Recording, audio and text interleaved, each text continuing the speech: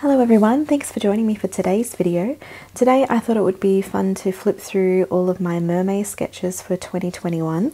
Uh, I took this opportunity to sketch um, in multiple sketchbooks or paper using multiple media, so I really wanted to take this opportunity to experiment and try different styles, different techniques and all sorts of things. So um, let's jump right into it.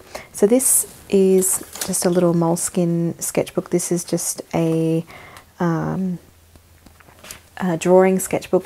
This is not a watercolor one, but it held up surprisingly well to using watercolor in here.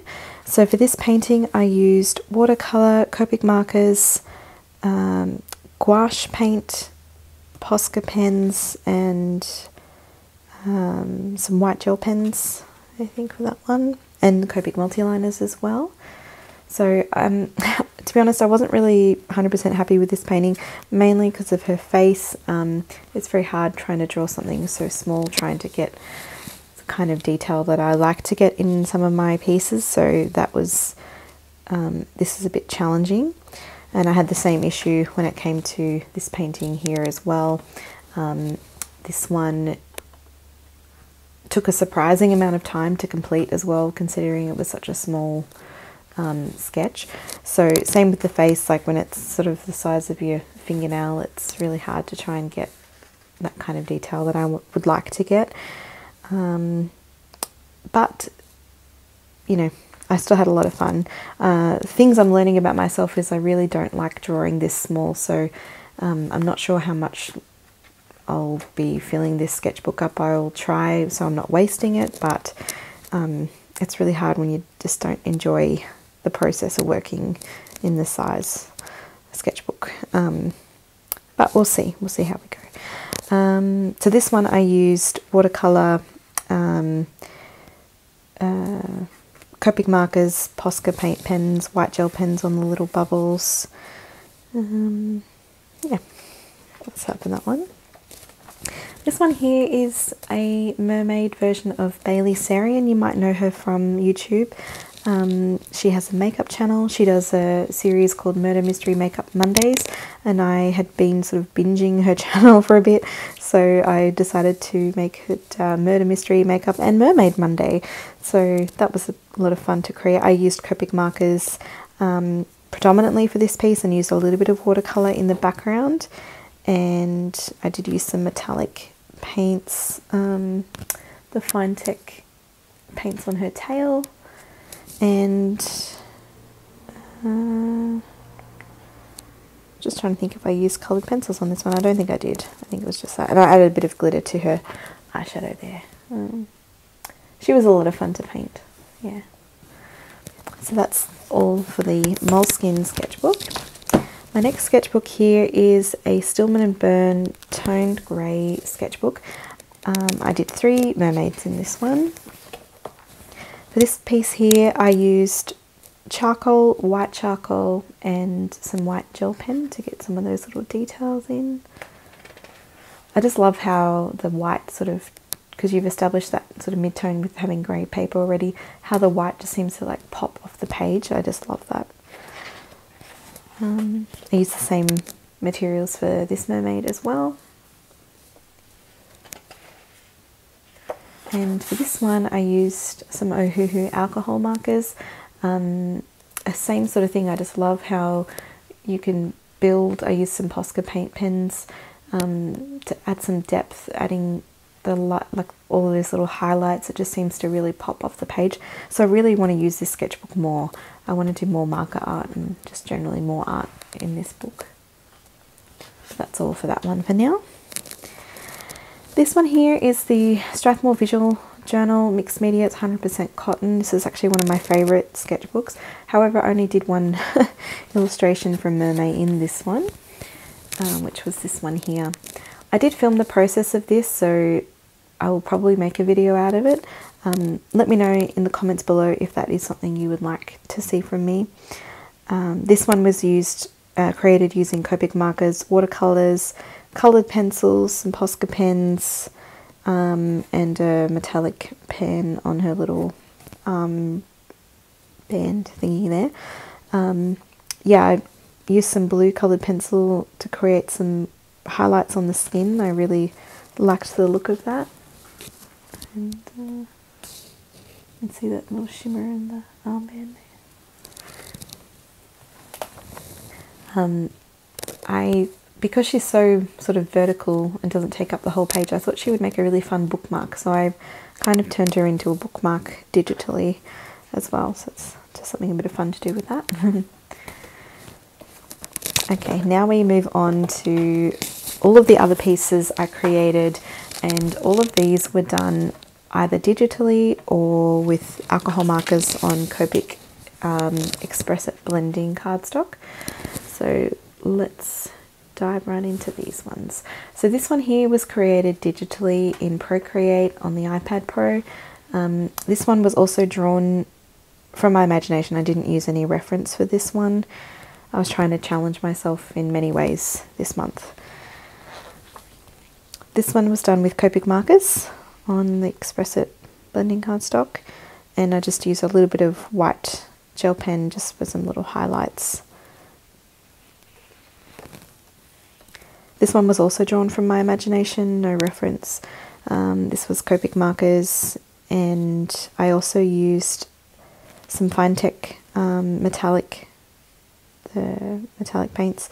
They're uh, mica paints, and I used a bit of glitter on this one as well. I also filmed the process of this one, so I can make a video out of that too if you'd like to see that. Um, I loved the rainbow hair. I was really happy with that. This one here is um, another mixed media piece. This is on Arches hot press watercolor paper. It's quite thin. Um, I ended up purchasing this because originally I had uh, drawn this on watercolor paper and I had uh, painstakingly lined the entire thing using Copic multi-liners and had started painting it and I'd used masking fluid and it completely ruined my paper after I'd added the background in. So I was really grateful that I had scanned this ahead of time. So I actually printed this on the Arches hot press watercolor paper. That's why it's not very thick. Um, and was able to try again. So I avoided using any masking fluid this time, but I created the background with uh, watercolor. There's actually some coloured pencil on there as well. And I used Copic markers, some Posca paint pens um, for the mermaid herself. So it's all about sort of adapting when when you can. This was another Copic marker piece, and I did use a bit of um, metallic paints I've actually used on some of the bubbles um, to add some little scales to her face and to her mermaid ear here um, and her eyeshadow. This was another one where I didn't use a reference either. When I say I use reference, for example, this one I used a photo reference. Um, when I say that, what I mean is I do the initial sketch using a photo as a really rough guide, um, and then I never refer to it again. Um, for like these illustration type mermaids. Um, so basically, just to get the pose of the top half of her body, and then the rest I've just colors, the shading, everything is from my imagination after that. So just for the initial sketch. But some of them, like this one, I had nothing. I just sketched it and went with it. This one here is one that was done in Procreate on the iPad Pro again, another digital piece. This was using a digital um, charcoal brush set. I was quite happy with how this one turned out as well. Again, experimenting with different styles. This one is very cartoony, obviously. Um, I used Copic markers for this one and some Posca paint pens for the scales. And yeah, I tried to I tried to simplify. Like I said, I was just taking the opportunity to experiment with different styles and mediums. Um, one thing I did here was add some uh, highlights in the skin by using a blue Copic marker. So I had to do that first so I could sort of put in my highlights and then um, add in the skin tone. So that was a fun challenge having two very different colours right next to one another. That was a lot of fun um, and I really liked the look of that. This one here, um, if you follow me on Instagram or Facebook, um, you might know that the background is actually different in the image that I posted there. Um, I actually imported this into Procreate and added a digital background, so it was just like a blue watercolor kind of background. Um, but this itself is done with Copic markers and a little bit of white gel pen. That's it. And same sort of thing, I was trying to add some contrasting colours by having the orange and the blue. And I've put the blue like right in through her hair. Um, right up against that orange. So that was an interesting challenge there again. But I was having a lot of fun experimenting with that. This one here is another Copic piece. Um, this is like a reimagining of an old, older mermaid drawing from, I think it was 2018. Um, same sort of thing. I just roughly, like loosely referred to the original drawing I had done, changed it up. Uh, again, was trying to go for that blue and orange contrast. I've done like a little blue ombre in her hair. Um, yep, that was all alcohol markers, all Copic markers, and just a tiny bit of white gel pen. Another Copic piece. Um, I had a friend of mine who's also uh, into art. She's fantastic um, artist. She come over and hung out with me. We were just having like a movie and art day, and she suggested this sort of color um, combination to me the the orange, yellow, peach kind of pinky combination. So that was a lot of fun um, to create this one. and a different friend had suggested this color combination to me. So having the green to the purple to the blue, and I tried to carry that out throughout the entire mermaid. Um, this one here, and this was another interesting thing about sort of adapting to the materials or trying to find ways to fix stuff if you have stuff go wrong on you. Um, this particular painting, uh, I used, I think it was a mixed media paper. Um, and for the most part, for the first sort of little bit of layering of watercolor, it held up fine, and then either it went, nope, can't handle any more of that. It started to put all these really weird marks throughout my paper. There was like all these little lines everywhere, and it just wasn't the look I was going for. So I had to think about how I would try and fix that, and I ended up using some pan pastels and going over the entire background um, to smooth that out and get rid of those lines that I didn't want there. So um, sometimes it's good to have a few different media options. That way um, you can adapt and make changes or fix things. I, I certainly didn't want to start this one again. Um, this one I used watercolor and I used a bit of uh, colored pencils on this one and some uh, white gel pen. White gel pen's a very handy thing to have on hand. Another digital piece for this one here, I used um, some watercolor brushes and some other um, like airbrush type things. Um, tried to make it look kind of like maybe she's transforming from a mermaid to human or vice versa. Um, we'd love to hear how you interpret this piece. Um, my mind, I have some ideas about what this represents, but I always love to hear what people think when they look at my work. My friend's daughter said she was cold. I thought that was really funny. Um, she's three, so uh, she sees things how they are probably. She probably was cold. this one here is another alcohol marker piece um, and I actually used a bit of pan pastel just to smooth out in the sky or just to lighten it. It had gotten a little bit, wasn't smoothing it out because Copic markers are quite smooth. Um, it was to lighten it a bit. I it was a little bit darker than what I wanted it to be, so I just kind of used a white pastel, a pan pastel, and just went over the um, entire sky just to soften it, and it was much um, more what I wanted it to be. Uh, and I just was having fun just doing rainbow hair. it was a lot of fun. This one here was another one where I used some Arches Hot Press uh, watercolor paper and I used watercolor and I used a bit of alcohol markers um, and a bit of colored pencil on this one as well. This is my probably my favorite mermaid amongst all the mermaids I did this month. This one here is done in Procreate uh, on the iPad Pro.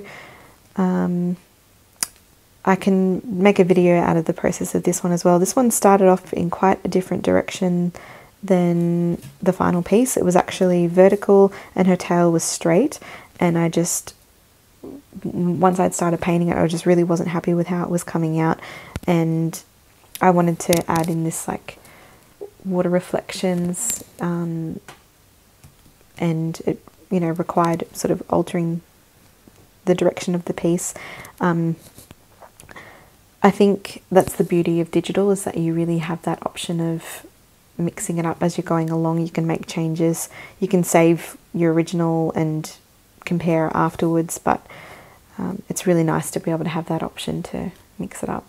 So yeah, I made her tail curly and a bit more dynamic range that way. And yeah, had her going uh, vertically instead of horizontally. So yeah, probably my favorite. I'd love to hear if you have a favourite amongst these or um, yeah, any feedback would be lovely.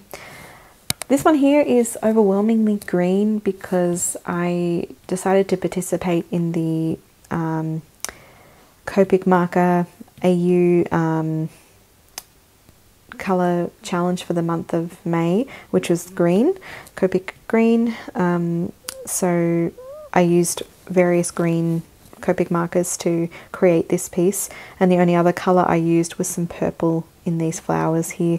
I tried to, I really tried to keep everything just green um, but I thought the flowers might look a bit like cabbages if I if I used just green on them. I tried to make them really pale um, and I, in the end I ended up adding a bit of purple just to create that little bit of colour contrast and I used some Finetec Gold metallic mica paints um, just on the little gold dots in the centers of the flowers. But other than that, it's all just green Copic markers and a little bit of white gel pen. But overall, I was really quite happy with the design of this one. Another alcohol marker piece and some white gel pen. I tried to sort of do a stormy sky in the background um, and was really just having a lot of fun mixing it up with the different colors. Like I would normally not do something so bright like this tail, so that was a lot of fun. Just just letting loose and just enjoying creating and using different colors and, and trying stuff that I normally wouldn't. And I love the color of the hair and the eyes. Just something a little bit different. Or different for me anyway. Same with this one, I'm just using really bright colours. This one I actually did, I think, with Ohuhu uh, brush markers. Um, yeah, doing the really bright green sort of tail and then the bright magenta pink hair. Um, I really wish I had referred back to a reference for this fish, but I didn't. Um, but you get the idea of what it's supposed to be. I wanted to create a little fishy friend for her and I used some Finetec Gold on him as well. I can get the camera to pick up the metallic shimmer at all. Sorry, it's really hard to capture. It's quite pretty in real life. Um, this one here is interesting because it was kind of like that other blue and orange mermaid where I did this with Copic markers, um, but I wanted to add a background so I imported it into Procreate and added a background in digitally. I wanted to have some sort of seaweed and and to make it make her kind of like a magical mermaid. So yeah, um, it's a wonderful age of technology in regards to art where you can do mock-ups and you can experiment and um, or, or combine them. Yeah, it's a lot of fun. And this is the last Mermay that I did for um, Mermay 2021. This was another one where I didn't use a reference, um, so I was pretty happy with that pose. Um, for me, trying to draw stuff out of my head in an illustrative manner. Um, and I really liked the colour combination, so yeah, this is a lot of fun and I really enjoyed doing mermaid this year. There are pros and cons, I think. Um, one con for me is that um, because you are creating something every day and you're trying to create a finished illustration, um, trying to come up with a story, I, most of mine are really just the mermaids on their own because I just don't have the capacity to um, create full fleshed out story illustrations. Um, by the time you do your sketch, you refine it, you do your line work, you um, render it however you are colouring it in. Um, it is quite the process, so it is really difficult to try and get something done every day. Um, on the same token, I again I really enjoyed the process because it I was experimenting with all different mediums and different styles, and um, yeah, I I still had a lot of fun doing it, but I think the quality isn't there on some of them that possibly could have been if I had given or allowed myself more time um, to do them. Um, so yeah, that's the end of Mermay 2021. Um, I hope you've enjoyed the video. Thank you for watching to the end if you did. Uh, if you would like to see more content from me, please hit like and subscribe. And if you have any questions, please feel free to leave them down in the comments below. If you did have a favourite, I would love to hear which one was your favourite. Or if you participated, um, you know, I'd love to hear your thoughts on, on Mermay, um, what materials you used, or if you mixed it up like I did. Um, this is not the end of me drawing mermaids for this year. I will actually be working on a uh, collaboration with a writer on doing a children's book, so I'll be drawing a lot more mermaids. So this was really good for me to be doing this because um, it allowed me to experiment and try and sort of figure out how I want to approach the mermaids for this book. So um, that also might mean I'm a little bit absent here and there working on that, um, but I will try my best to continue making videos and making art um, for here. I've been trying to do a real-time tutorial series um, using watercolors, a lot of landscapes and seascapes and that kind of thing. So there'll be more of those videos coming. Um, I've got one lined up for June. Um, but yeah, I'm going to try my best to still create content as much as I can. So um, if if there is particular things that you want to see from me, please let me know in the comments below. I do want to create content that um, that wants to be seen on this channel. So um, I like my stuff to be useful and helpful. So hence the tutorials and that kind of thing. So anyway, thank you for listening to my rambling and I hope you enjoyed the video and if you participated in Mermay, I hope you enjoyed that. And if not, I hope you enjoyed seeing all the mermaids in your social media feeds. Um, thanks again for watching. I hope you have an absolutely fantastic day and I'll see you in the next video. Bye.